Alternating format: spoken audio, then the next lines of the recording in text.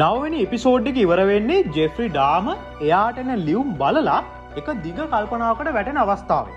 අපි එන එක්දස් නමසේ හැත්ත හතේ චිකාගෝලට මේ ජෙෆ්‍රිගේ මතක නෙමේ හොඳ?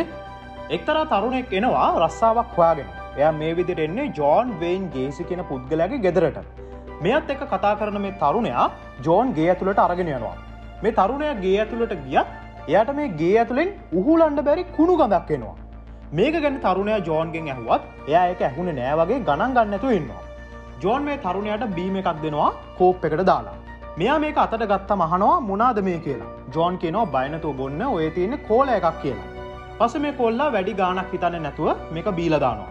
මේක බීලා ටික වෙලාවක් යනකොට මේ තරුණයට අමුතු දෙයක් වෙන්න ගන්නවා. එයට හැමදීම බොඳ වෙනවා. එයට කැරකිල්ල වගේ එනවා.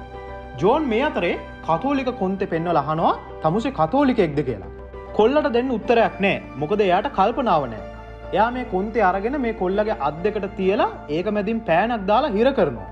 ජෝන් මෙයාගේ මූුණට පාරක් ගහනවා. මේ කොල්ලත් පුළුවන් තරම් ශක්තිය දාලා ජෝන්ට ගහලා පැනගන්න බලනවා. ඒත් ඒක යට කරන්න බැරි වෙනවා. ජෝන් මේ කොල්ලව අඩ පණ කරගෙන පුළුවන් තරම් වද දෙන්න බලනවා. ඊට පස්සේ ජෝන් මේ කොල්ලාව නිර්ුවත් කරලා කලවුන් කෙනෙක් වගේ ඇඳගෙන බාත් ටබ් එකක ඔබ ඔබ එයට වද දෙන්න ගන්නවා. මේ කොල්ල අන්ඩාන්ඩ එපා මට වද දෙන්න එපා කිව්වත් ගේසි ගානකට ගන්නේ නෑ. එයාහනවා තමුසේ කවුද කියලා? එතකොට ගේසි කියනවා මම තමයි දෙවියෝ කියලා. ය මේ කොල්ලව හුස්ම හිරවෙනකං මැරණකම්ම වතුර යට තියන්ගින්වා ඒ විදියට යම් මරණයට පත්වෙනවා පස්සේ අපි එනවා මේ දාම ගාතකයාගේ මරණී දණ්ඩනය ලබා දෙන්න දවස ඇහෙන නිවස් එකට. මේ විදියට මෙයාව අහුනට පස්සේ ෆෙඩරල් ජජ්බෝඩ් එක තීරණය කරලා තියෙනවා මෙයාව මරන්න. ඒකැන්නේ මරණී දණ්ඩනය නියම කරන්න. මේ විදිහට එයාට මේ දඩුවම ලබා දෙන්නේ වසර දාහතරකටත් පස්සේ. දැම් මේක බලඟඉන්නවා ගලෙන්ඩා. මේ ජෝන් වේන් ගේසි කියෙන පුද්ගලයා පුද්ගලයන් තිස්තුනක් මරලතිනවා කියලා මේ නිවස් එකේ කියනවා. එතකොට එතන ඉන්න කෙනෙක් කියනවා මූනම් පණපිටිං අපා යන්න ඕන මහා නරුමෙක් කියලා. එත් ගලෙන්ඩ කියනවා මූන මේ නරකම මූටත් වඩා නරුමෙක් එක්ක තමයි මම ජීවත් වනේ කියලා. ගලෙන්ඩ මෙයාගේ අහනවා ඔයාට මිනි කුණුවෙන ගඳ දැනිලතේ නොද කියලා. එයා කියනවා නෑ කියලා. එවිතරක් නෙමෙයි ඒ මනුස්්‍යය මේ මිනි කෑවා හැමදා මුගේ කාමරෙන්ගෙන ජරා ගඳ කවුලුව හරා මගේ කාම්බරයටත් එෙනවා. මට තාමත්තේ ගඳ මගේ නහයි නැති කරගන්න බැහැ කියලා එක සාපයක් වගේ මගේ යන හැම තැනම මට දැනන්න ගන්නවා කියලා ගලෙන්ඩ මේ කාන්තාවට කියනවා. යා මේ කහලා ගොඩක් කලකිරෙනවා. පස ජෙෆ්‍රි හිරේ ආහාරගන්න දර්ශනයක් තමයි අපිට පේන්නේ. එයා ළඟට එන සිරකරුවෙක් එයාගේ මේසේ වාඩි වෙනවත් එක්කම එය ඉඳගෙන තියෙන කෑම එකක් පුඩ ජෙෆ්‍රි තමයි මේක තිබ්බේ එයා කියනවා සමාවෙන්න ඔතන තමයි මගේ යාළුව ඉන්න කියලා. අරුට මල පැනල මුට කුණුහරපෙන් බැනබැන යනවා. ඉතින් අපිට පේනවා මූ හිරේට ගිහිල්ල කරන්නෙත් අනිත්තුන්ට කුපාඩි වැඩ. හිරකරුව හැමෝටම මුව පේන්න බෑ. මේ වැඩ දිහත් ජෙප්‍රි දිහත් බලන්ඉන්නවා අර කළු ජාතික සිරකරුවා. මෙයා තමයි ක්‍රිස්ටෝෆ. පසේ ජෙප්‍රි සිරකරුවෙක් එක්ක කාඩ් සෙල්ලං කරනවා. එයා ඔට්ටු විදියට පරාදුනාම දානවා එය අත්සං කරපු කාඩ් එක. එතකොට මේ පුද්ගලැක්කිනවා මොකක්ද බං සල්ලිදාපංකො කියලා. ජෙෆ්‍රි කියනවා නෑ මේක තමුසට මම දෙන වටිනමදේ හිර නිදහස් වෙලා ගිහිල බලනවා එලිය මේක කියකට විකුණන්න පුළුවන්ද කියලා. අඩුම ඩොල සියකටවත් මේක විකුණ ගන්න පුළුවන් වෙයි කියලා එයා කියනවා. ඒකට මෙයා කැමති නෑ. එනම් ජෙෆ් කියනවා හරි මම ගෑනු ළමයි මටවන නිරුවත් ඡායරූප අට දෙන්නම් කියලා. දැන් අපිට තේරෙනවා ජෙෆ්‍රි කොච්චර ජනප්‍රියද කියලා.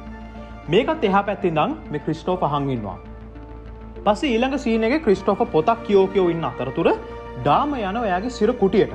අපිට පේනවා කවුරුවත් ඩාමට කැමතිනෑ. දවසක් යාල උදේ කන්න අද්දී ජෙෆ් ක්‍රිස්ටෝපගේ කෑම එකට සෝස් හලලා එතන තියලා හිනාවෙවී ඉන්නවා. ක්‍රිස්ටෝප මෙතන්ටෙනවා යා මේක දැකලා මේක ජෙෆ්‍රි ළඟට ගෙනල්ල බලෙම පොලේ ගලකිනවා තමුසගේ මේ වැඩ මට දැන් තිත්ත වෙලා තියන්නේ කියලා. ජෙෆ්‍රි කියනවා ඔයාට පහසු වෙන්නන මම එම කළේ කියලා මේකට කේන්දිකින් ක්‍රිස්ටෝප කියනවා මොකක්ද තමුස මේ කරන්නේ හිරකාරෙන්ම ජෝකකට ගන්නවා අත්සන් යවනවා සල්ලි හොයනවා තමු සිතන්න තමුස සෙලිබ්‍රිටි කෙනෙක්ද කියලා. මේ හෝයි දැනගන්නවා මට වැඩක් නෑ තමුස කවුරුණත් අපි ඉන්නේ තොගේ බාර නෙමේ කියන එක මතක තියාගන්නවා කියලා ක්‍රිස්ටෝප මෙයට කියනවා. එතකොට ජෙෆ්‍රි කියනවා මම එහෙමනං හිතුවේ නෑ මමත් ඔයාලා වගේම සිරකාලය ගෙවන කෙනෙක් කියලා. එතකොට ක්‍රිස්ටෝප කියනවා නෑ තමුසේ මම නෙමේ මම මගේ පව්වලට තමයි ඇතුළට එන්නේ සහ මම ඒ කරපු දේවල්වලට අදටත් පසු තැවෙනවා කියලා. මම කතෝලිකෙක් ජෙෆ් මට තමුසේ කරන දේවල් දිරවන් නැහැ කියලා මෙයා කියනවා. මේ අතරේ මෙතනටපු ජේල කෙනෙක් ක්‍රිස්ටෝපෝ මෙතනින් ඉවත් කරනවා. පස ක්‍රිස්ටෝප යනවා ලයිබ්‍රියකට එය එතන්ට ගහිල්ලා එතන ඉන්න කාන්තාවකගෙන් අහනවා ජෙෆ්‍රි ඩාම හිරගෙදරට එන්න තරම් කරපු වැරදි මොනාද කියලා. එවුනාට එයාගේ තියෙන මානසික තත්ත්වයක් එක්ක එයාට මේ තොරතුරුවලට ප්‍රවේශයක් දෙන්න බැහැ කියලා මේ කාන්තාව කියන. ඒත් ක්‍රිස්ටෝෆ කියනවා නෑ මට මගේ බ්‍රේක් ඩවන්් සාවේ මම කන කෑම නිසා එනිසා දැන්ගේ ප්‍රශ්නමුකුත් නෑ අනිදේ තමයි ම දැන් කතෝලිකෙක් විදියට බෞතිස්ම වුණ මම දැම්මගේ වැරදිවලට දඩුවන්ගේ වන සාමාන්‍ය පුද්ගලය කියලා. මට උදව්වක් විදියට මේ තොරතුරු මට ලබා දෙන්න කියලා එය ඉල්ලීමක් කරනවා. එතකොට යට ලැබෙනවා පත්තර ටික. මේක තියෙනවා ජෙෆ්‍රි ගැන පලවුණු ආටිකල්ස්. ඒවල එයාගේ අපරාධ අතර නිතරම තියෙන වචනය තමයි කැනිබලිසම් ඒ කියන්නේ මිනී මස්කෑම. මේවා කියවලා ක්‍රිස්ටෝපට හිතාගන්න බෑ ඌට ශොක් වගේ. ඒවගේම එයාර අවුරුදු දාහතරක ළමය මරපු සිදුවීමත් මෙයාට කියවන්න ලැබෙනවා. ඒක මාරම ජරා කේදවාචකයක්. ක්‍රිස්ටෝෆ අතිශය සංවේදී වෙනවා.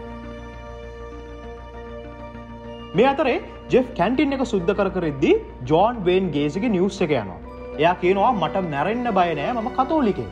මම අද මැරෙන්න්න කලින් පාපුච්චාරණය කලා මගේ පව් නැති කරගන්න කියලා. එනිසා මම දැන්ගන්න සාමෙන් දෙවන් වහන්සේ මාව කොච්චර පව් කළත් ආදරෙන් පිළිගනී කියලා මම විශ්වාස කරනවා කියලා මෙයා කියනවා. අද තමයි ජෝන් බේන් ගේ සිට මරණය දඩුවම දෙන්න. යට දෙනවා මරණය ඉන්ජෙක්ෂන් එක. මේ අහගෙන ජෙෆ්‍රිට නියම වැඩක් පත්තු වෙනවා.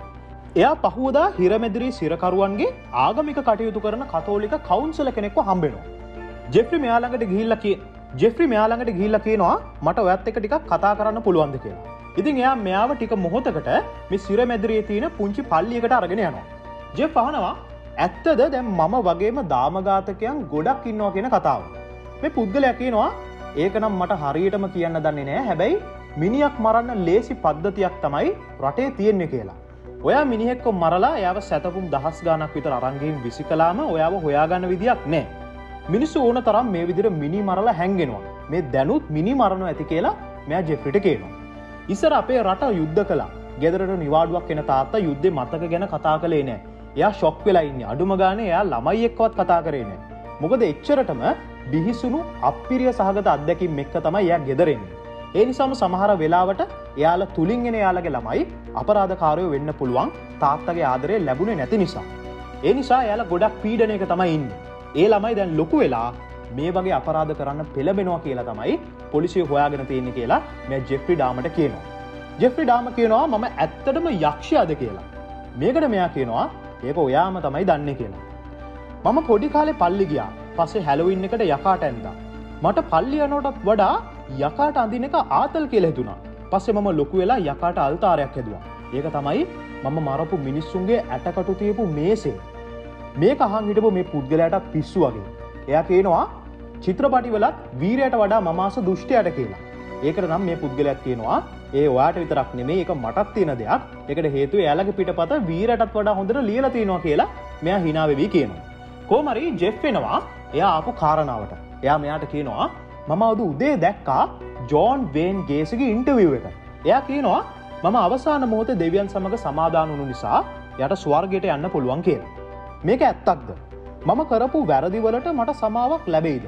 එතකට මේ පුද්ගලයා කියනවා සමාව දෙන එක දෙවන් වහන්සගේ වැඩක් නමුත් තමන් කරපු වැරදිවලට මනස්ථාපනය නොවී ඒකෙන් බේරෙන් හිතම් පාපුච්චාරණය කරලා කතුලිකෙක් වෙන්න හදනෝනං දෙවන් වහන්සේ ළඟට වට යන්න බෑ වා දෙවන් වහන්සේ රවට්ටනෝ වගේ වැඩක් තමයි මේ කරන්න කියලා.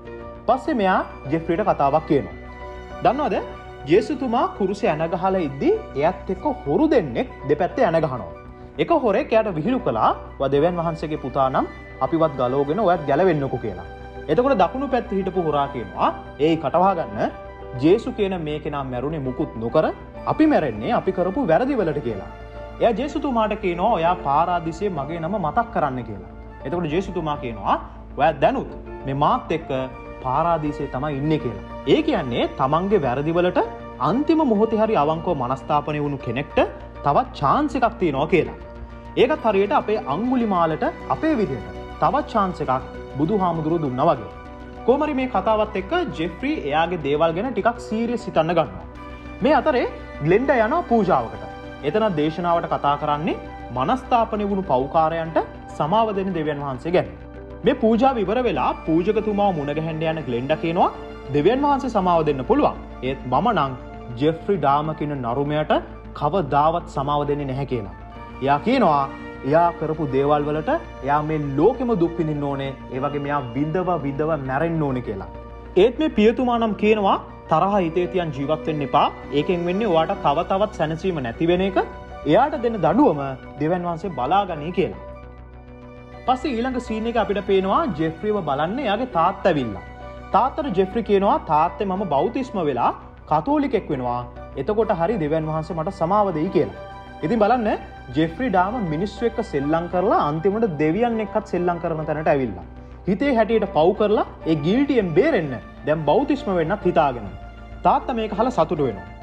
ජෙෆ් තාත්තගෙන් අහනවා තාත්තේ ඔයා මට සමාව දෙනවාද කියලා. තාත්තත් කියනවා ඕ පුතේ මමවාට සමාව දෙනවා කියලා. මේ අතර ජෙෆ්‍රි ඩාම ගැන කතාමාලාවක් පටන් අරම්. ඒක අලුත්ම කතාව තමයි ඩාම වර්සස් ජීසස්. මේක ටෝනිගේ අම්මටත් හම්බෙනවා මේක දකින ටෝනිගේ අම්මට දරාගන්න බෑ. එයා බලන්න කොහොමරි කරලා මේ සංගරා ලියනුන්ට නඩුදාන්න. කොහොම හරි අර ජෝන් වේන් ගේසිව එන්නතක් විදලා මරලදාන දවසෙම ජෙෆ්‍රි ඩාර්මව බෞතිස්ම කරන්න සියලු කටයුතු සූදනම් වෙනවා. ජෝන් වේන් ගේසිගේ අවසාන වචනය තමයි කිස්ම යෑස් තොපි ඔක්කොම මගේ පස්ස ඉඹ පම් කියලා. ඒ විදියට එයාගේ ඇඟට අර මාරාන්තික එන්නත ඇතුළත් වෙනවා. එහා පැත්තෙන් ජෙෆ්‍රි ඩාම බෞතිස්ම වෙලා කතෝලිකෙක් වෙනවා. මේ අතර ක්‍රිස්ටෝෆ තරහෙම් පුපුර පුපුර එයාගේ කූඩු ඇතුළට වෙලා ඉන්නවා. යාහනවා දැම්මම් මොනාද කරන්න ඕන දෙවියනේ කියලා. ජෝන් වේන් ගේසි ඒ විදියට මරණයට පත්වෙනවා. හරියටම දොළහයි පනස් අටට මේ වෙලාවේ පූර්ණ සූරයක් ග්‍රහණයක් වෙනවා.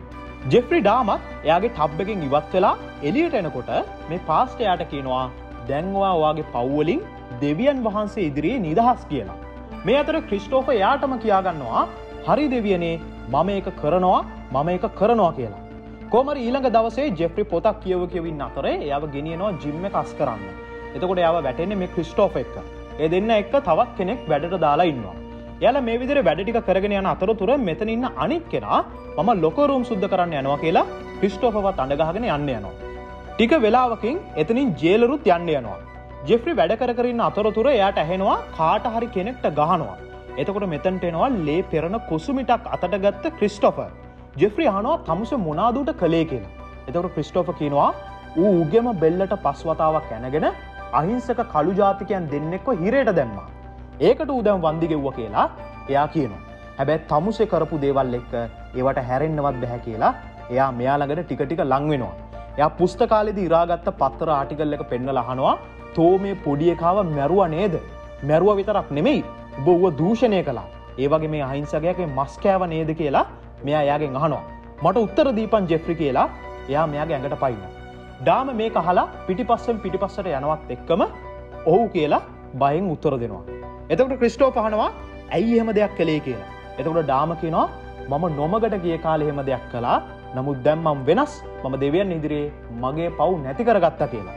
එත් ක්‍රිස්ටෝප කියනවා තමුසේ අදහන දෙවියම තමයි මාත් අදහන්නේ හැබැයි ඒ දෙවිය ගැන උඹ නොදන්න දෙයක් තමයි ඒ දෙවියන් වහන්සේ අකුරටම යුක්ති ඉටු කරනවා කොච්චර කාලයක් ගත වනක් කියලා. තමුසේ නොදන්න වනාට සමහර වෙලාවට දෙවියන් මේ පලිය ගන්න යා දූතයන්ව මිනිස්සු විදියට එවෙනවා. මම දෙවියන් එක කතා කලා තෝව නැති කරන්න උන්වහන්සේ මට අනදුන්න කියලා එයා මෙයට කියනවා. තොට එක තේරුණා නේද කියලා මෙයා යාගෙන් අහනවා.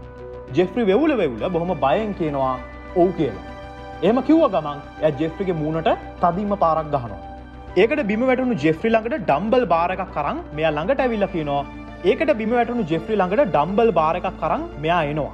උබාර ළමයට වදදුන්න නේද කියලා එයා ළඟට මෙයා ටිකටි කෙනවා. එතකොට ඩාම කියනවා මම යාව මක්කරල තිබුණු නිසා එයාට වේදනාවක් දැනුනේ නෑ කිය. එවුනට මම තෝ එහෙම මක් කරන්න නැහැ කියලා එයා කියනවා.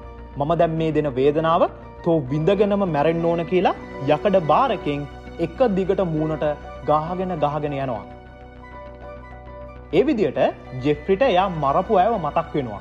අරය එක දිගට තරහ ඉවර වෙනකං ගහගෙන ගහගෙන යනවා. එතකොට එයා මතක ඇතුළි හිරවෙනවා. ය කරපු අපරාධයට මතක් වෙනවා. පස්සෙයට වදින මාරන්තික පහරක් නිසා ය සදහටම මරණයට පත්වෙනවා. ඒ විදිහට ජෙෆ්‍රිඩාම ජීවිතයෙන් සමුගන්නවා. මේ ආරංචි දැනගත්ත තාත්ත ඉක්මට යනවා සිර ගෙදර තියෙන රෝහලට ගිහිම් පුතාගේ තත්වය ගැන අහනවා. නමුත් මේ වන විටත් ජෙෆ්‍රියාගේ ජීවිතෙන් සමුවරම්. තාත ජෙෆ්‍රිගේ බොඩිය බලන්න යනවා. එතකොට එයා දකිනවා ඔළුව සෑහෙන්න විනාශ වෙලා. තැලිලා පොඩි වෙලා. තාත්ත කෙනෙක් විදිට යාගේ පුතා කොච්චර වැරදි කළත් එයාට මේක දරාගන්න බෑ යට ඇඩෙනවා තාතමයාගේ මිනිට කියනවා මම ඔයා ඉපදුණු දවසෙත් වාට ආදරය කලා මම මැරණකම්ම ඒ ආදරය වෙනස් වෙන්නේ නැහැ කියලා යා කියනවා. පස්ස ටික කාලෙකින් අවසාන කටයුතු හෙමත් කරලා මේ තාත්තවයි අම්මවයි ගෙන්නලා මහාචාරවරය කහනවා අපි ජෙෆ්‍රිගේ මොලේ පරීක්ෂා කලාට කමක් නැද්ද කියලා. එතකට තාත් අහනවා මෙච්චර කාලයක් එයාගේ මොලේ තිබ්බ කොහෙද කියලා. එතකොට ඒක තිබිලා තියෙන ලැබ් එකක් ඇතුළේ. අම්මගෙන් ඒකට විරුද්ධත්වයක් නැති වුණත් තාත් ඒකට කැමති වෙන්නේ නෑ. එයා එක නඩු මාර්ගකින් විසඳ ගන්න බලනවා. එවිදිර නඩුවෙන් ලැබුණු තීරණය තමයි ජෙෆ්‍රිගේ මොලය ගිනි උදුනක දාලා විනාශ කරන්න. ඒ විදියට එක අංගුරු වෙලා යනකම්ම පිච්චිල යන අපිට පේනවා. තටන තනියම කරගෙන යනවා. අර මැරුණු විින්දිතයන් වෙනුවෙන් හදන ස්මාරකය ගැන එයාගේ යෝජනාව ගැන කරුණු හොයලා බලන්න එයා යනවා. නමුත් අවුරුදු දෙකක් ගිහිල්ලවත් ඒක හදල නෑ. එතන ඉන්න නිලධාරිය කියනවා ඒකට තවටිකක් කාලයක් යයි කියලා. ග්ලෙන්ඩ කියනවා ඕන තරම් කාලයක් බලන් ඉන්නම් මම වගේ හුස්ම යනකං වුණත් ඒ වෙනකම් බලන් ඉන්නවා කියලා. කෝමුණත් අද වෙනකම්ම මේ වගේ ස්මාරකයක් හදල නැහැ කියලා ඔයා උනත් දන්නවා. ඉරිපසේ අන්තිමට ලෙන්ඩ එයාලා හිටපු නමුත් දැම් පොළොවට සමතලා වෙලා තියෙන ඔක්ස්වර් ඩෙපාර්ට්මන්ට් එක දිහා ඉතාමත්ම කණගාටුවෙන් වගේ බලංඉන්න ගමන් මේ කතාව ඉවර වෙනවා. ඉති මේක තමයි කතාවේ අවසානය. මේ කතාව අතරතුර මේ ජෙෆ්‍රි ඩාම ගැන ඔයාට හිතුණු දේවල් මොනවාද. එයාට ඒ ලැබුණු දඩුවම ගැන ඔයා සතුට වෙනවාද. ඒවගේම මැරුණු මිනිස්සුන්ගේ පවුල්වලට යුක්ති ඉටු උනා කියලාවා හිතනවද. වාගේ අදහස පාලින් කමෙන්ට් එකක් දාගෙන යන්න. එනම් මෙතනින් මේ කතා මාලාව අවසන් වෙනවා. ඔයාලට කතාවායත් බුලින්දල බලන්න ඕනෙ නම් මෙන්න මේ ප්ලේලිස්ට එකෙන් ඔයාට ඒක බලන්න පුළුවන්. එනම් ගිහිගෙන්න්නම්. වාල හැමෝටම සුබම සුබ දවසක්.